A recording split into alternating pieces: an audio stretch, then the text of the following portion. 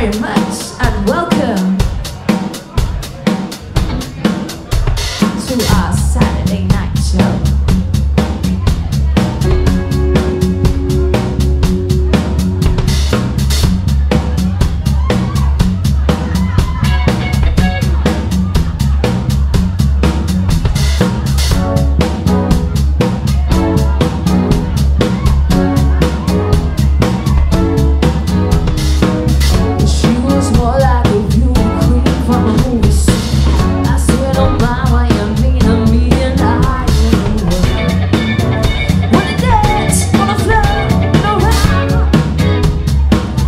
said